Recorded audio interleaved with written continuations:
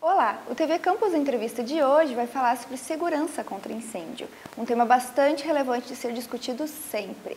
Trata-se de medidas de prevenção, combate e detecção de incêndios. E para explicar um pouco mais sobre esse assunto, a gente recebe aqui hoje o João Paulo Correia Rodrigues, que é um professor da Universidade de Coimbra, em Portugal, que veio até a UFCM para palestrar sobre como aprender com o passado para prevenir o futuro. Seja bem-vindo, professor. Obrigado. E então, no sentido da sua palestra, eu gostaria de começar perguntando o que, que o senhor acha que a gente aprendeu com o passado a respeito da prevenção de incêndios? As pessoas estão mais conscientes? Sim, as pessoas estão mais conscientes eh, sobre o problema dos incêndios após as grandes tragédias, não é? Porque a sociedade normalmente anda atrás das grandes tragédias, isso é que é mau. Foi preciso acontecer, portanto, incêndios importantes, eh, neste caso no Brasil, e temos já a referir o incêndio do Joelme e do Andraus eh, na década de 70, eh, que levou a que a regulamentação brasileira, e de certa forma a regulamentação em todo o mundo, devo dizer, foram estes dois incêndios que marcaram a regulamentação de segurança contra incêndios no mundo inteiro, eh, que fizeram com que ela tivesse uma, uma grande evolução. Eh, hoje, devemos dizer que o Corpo Bombeiros, de, portanto, de São Paulo, está extremamente desenvolvido em termos de regulamentação e em termos de capacidade de, de, operacional, mas uh, isso influenciou a regulamentação, portanto, de certa forma, em todo o mundo. Também temos que referir que o incêndio na Boate Kiss, de certa forma, veio, neste caso também, introduzir transformações e consciencializar a sociedade para a problemática da segurança contra incêndios. Agora, eu sou da opinião que se devia atuar mais antes das tragédias acontecer do que, depois delas acontecerem. Com certeza. Então, assim, quais são as medidas básicas de prevenção de incêndio que a gente pode ter em lugares de grande circulação de pessoas? É, as saídas de emergência são uma, né, extintores, o que mais? Uma das condições é, é, absolutamente necessárias não tem a ver com uma, de, com uma medida de segurança contra incêndios, mas é evitar ao máximo, ultrapassar a lotação máxima dos espaços. Porque muitas vezes esses espaços, esses recintos, esses prédios, que recebem, portanto, público, estão bem dimensionados, bem concebidos para a segurança contra incêndios, mas porque a lotação está maior, é maior do que aquela que, para o qual as saídas de emergência estão, portanto, dimensionadas, isso vai criar problemas, portanto, eh, à, à evacuação do, do edifício ou ao abandono do edifício. E depois, muitas vezes, são também introduzidas medidas adicionais que não têm a ver com a segurança contra incêndios, como, por exemplo, barreiras para, para impedir ou para controlar multidões, que depois, em situação, portanto, de fuga, vão criar problemas. Temos situações eh, nestes espaços que recebem público de portas de, em saídas de emergência que, por questões de controlar as pessoas, de evitar que durante o funcionamento do, do edifício as pessoas abandonem o edifício, por exemplo, sem pagar, não é? Eh, são bloqueadas, muitas vezes, não sei se aqui é o caso do Brasil, mas, por exemplo, posso dizer que noutras partes do mundo, e inclusivamente em Portugal, isso acontece. E, portanto, uma das regras básicas é, é fazer uma detecção precoce do incêndio e as pessoas poderem abandonar o edifício o mais rapidamente possível, com as saídas, portanto, devidas, eh, devidamente localizadas e devidamente dimensionadas. E evitar ao máximo eh, não permitir, de modo algum, que a lotação seja ultrapassada, que isso vai criar problemas depois numa situação de emergência. Uhum. E além dessas medidas físicas, o que é possível fazer para conscientizar as pessoas? É uma boa questão eh, e essa é uma questão que, deve, eh, que todas as sociedades devem, eh, portanto, atuar ao nível da prevenção. Tem que haver sensibilização das pessoas em geral. Isso deve ser feito ou pelas prefeituras, ou pelos governos estaduais, no caso do Brasil, ou até pelo próprio governo federal, através de campanhas de sensibilização, quais são as medidas e quais são os comportamentos que as pessoas têm que ter para evitar, portanto, situações eh, de incêndio. E depois deve haver também uma formação das pessoas que também trabalham, portanto, nos próprios edifícios, portanto, eh, nomeadamente o exemplo de uma, de uma casa noturna os funcionários dessa casa noturna têm que ter formação básica sobre o modo como devem usar as medidas de primeira intervenção, os extintores, as, os mamutinhos, etc. E em situação de emergência, como é que há de controlar a multidão, como é que há de fazer o, coordenar a evacuação rápida, o abandono rápido do prédio. Portanto, tem que haver consciencialização das pessoas em geral e formação, portanto, de, fundamentalmente, dos próprios funcionários que trabalham nas casas noturnas, que trabalham na, nas universidades, que trabalham nas empresas, etc. E bom, falar desse, desse tema é tão difícil para a gente, principalmente por, por conta da tragédia da Kiss, né? A gente não tem como não mencionar. E a questão da legislação mudou muito aqui no Brasil depois disso, como o senhor mesmo já comentou. Como você vê essa mudança na legislação? Eu acho, é, portanto, houve mudanças na legislação e, e continua a tentar haver, portanto, é, melhorias na legislação, mas eu, como venho dizendo, o problema da segurança contra incêndios não é um problema de legislação a legislação do Brasil não é, é, pior do que a legislação em qualquer outra parte do mundo. É tão evoluída como qualquer outra legislação. Aliás, as legislações, elas tentam, eh, de certa forma, portanto, eh, não diria copiar, mas ser semelhantes umas às outras. E, portanto, houve eh, medidas que têm sido introduzidas e, portanto, não é, acho que não é um problema de legislação, é mais um problema de comportamento e um problema de consciencialização das pessoas para, esta, para a segurança contra incêndio. Uhum. E também é um problema, às vezes, de custo, porque é um custo muito alto para manter a segurança contra incêndios, principalmente nos lugares que são pequenas empresas e tudo mais, né? E como é que a gente faz numa situação de crise econômica, quando muitos estabelecimentos começam a negligenciar essas regras, essas normas? A preocupação com os custos é uma cultura do Brasil já naturalmente. Como é que a gente pode resolver esse problema? Existe como uma forma de prevenção de incêndio que não seja tão de alto custo? Bem, essa questão, é, a primeira coisa que eu costumo dizer é que a vida humana não tem preço.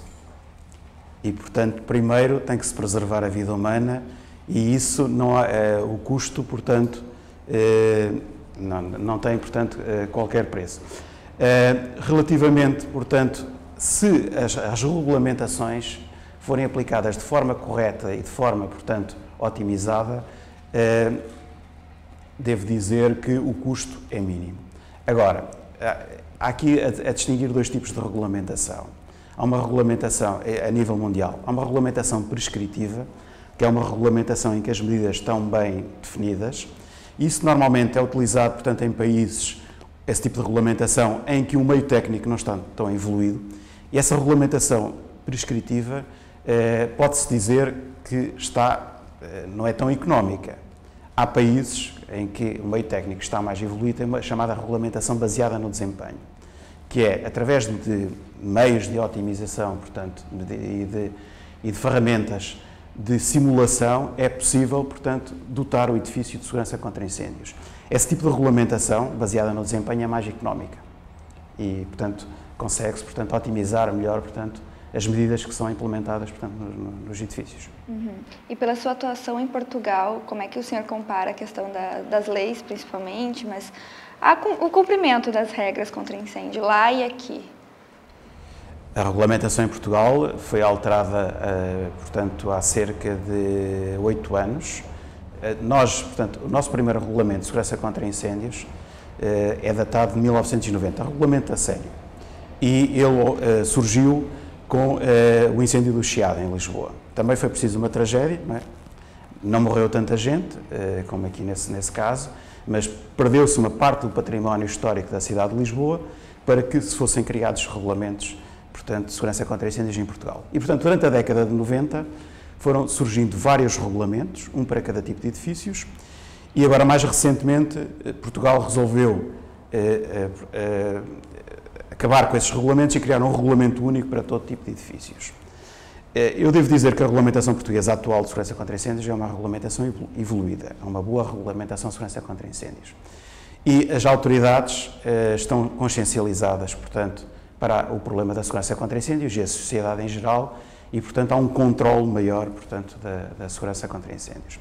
Portugal também viveu um período de crise e também devo dizer, não, não, não vou esconder, que durante esse período de crise as autoridades foram um pouco mais permissivas, tentaram não exigir tanto, porque eh, eh, elaborar, portanto, por exemplo, projetos de medidas de autoproteção, portanto, dos próprios edifícios, obrigar toda a gente a fazer isso, isso tem os seus custos. E, portanto, durante essa, durante essa fase, devo dizer que houve alguma, algum recuo das autoridades nas exigências. Atualmente, portanto, está tudo a voltar ao normal e, portanto, há um grau de exigência bastante grande na aplicação das medidas.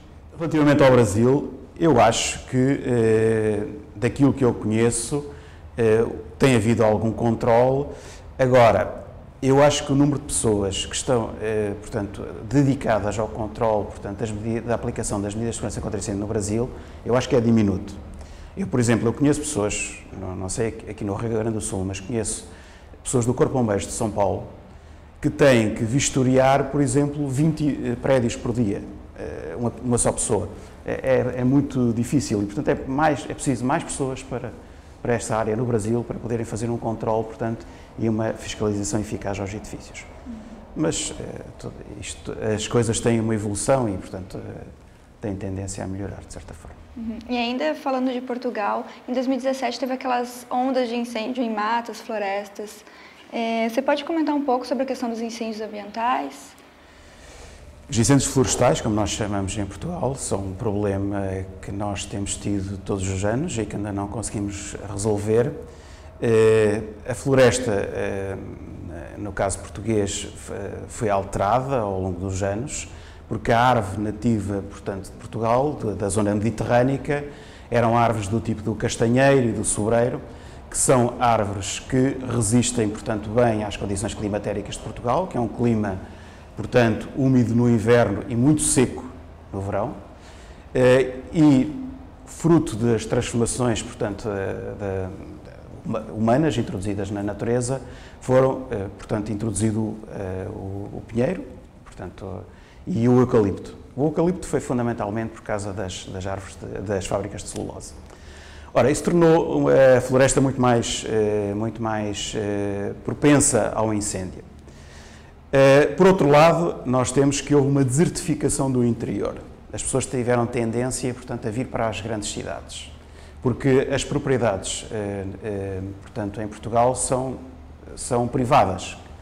Cada parte da floresta, a floresta tem muitos donos, portanto, cada pessoa tem um bocadinho de floresta. E essas pessoas, fruto, portanto, do desenvolvimento das grandes cidades, deixaram o interior e, portanto, vieram para as grandes cidades. O que é que isto levou? Levou a que o, uh, o mato uh, começasse a crescer, portanto, nas florestas. Uh, e, portanto, a carga de incêndio aumentou muito. E isto é muito propenso, portanto, como no, no verão é muito seco o clima, é propenso, portanto à, à, portanto, à ocorrência de incêndios. Devo dizer, e aqui não posso esconder isso, que alguns, eu diria que grande parte destes incêndios são de mão criminosa, portanto, têm intenções tem várias intenções. Uh, algumas são intenções de, de origem económica, uh, outras são intenções de, por exemplo, pessoas frustradas, com pessoas que perdem empregos e que acham que, uh, pondo incêndio na floresta, que se conseguem vingar contra a sociedade, por assim dizer. Outros que são pirómanos, por exemplo, que gostam de ver a floresta arder e, portanto, há muitas motivações por trás destes incêndios. E, e, portanto, este, este, ano os incêndios atingiram, portanto, nas florestas atingiram o seu, uh, o seu expoente máximo, uh, com uma área ardida absolutamente uh, enorme.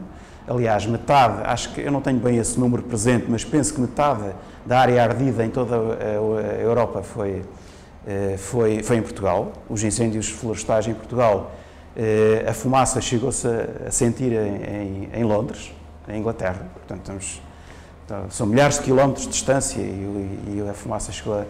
E depois tivemos a agravante, é que morreram eh, centenas de pessoas. Eh, para além de alguns bombeiros, morreram pessoas eh, civis, algumas morreram dentro dos próprios veículos na estrada, que foram encurraladas, por assim dizer, pelo incêndio e morreram queimadas, e isso foi muito negativo e muito pesado.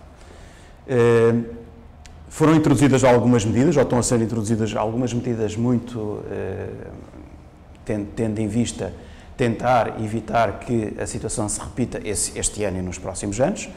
E, e essas medidas passam por obrigar as pessoas, os proprietários das, das florestas, portanto, a limparem as suas, as suas florestas, eh, especialmente na situação eh, das, das, florestas que estão próximo de, de, aldeias e de casas. O Governo está, eh, esse ano, eh, vai investir 15 milhões de euros, pelo menos, em pesquisa, portanto, eh, deu ou vai dar às universidades, portanto, 15 milhões de euros para fazer pesquisa só na área dos incêndios florestais E, portanto, tem, sido, tem, tem estado a ser introduzidas algumas medidas. Houve um reforço dos meios aéreos também. E, portanto, penso que esse ano não vai, não vai, não vai haver grandes problemas. Sim. Então, para finalizar, eu queria que o senhor comentasse como professor agora. O senhor percebe o interesse dos alunos na área de segurança contra incêndio? Percebo. Percebo que há um interesse maior eh, e há um interesse muito grande eh, de, dos alunos no Brasil nessa, nessa temática. Eu sou professor na Universidade de Coimbra, eh, no mestrado em Segurança aos Incêndios Urbanos e no doutorado em Engenharia de Incêndio e eh, posso dizer que eh, mais de metade dos alunos que eu tenho lá são brasileiros. Portanto, porque esse tema despertou muito interesse na sociedade brasileira e há uma tentativa de, de buscar, portanto, conhecimento fora do Brasil nessa área. E daquilo que eu sei, há também algum interesse do, do Governo Federal de, eh, de, apostar também na formação nessa área específica da segurança contra incêndios. Talvez reflexo deste incêndio que houve na, na Boate Kiss. Claro, mas é um assunto sempre muito importante de debater, de se estudar e buscar conhecimento sobre, né?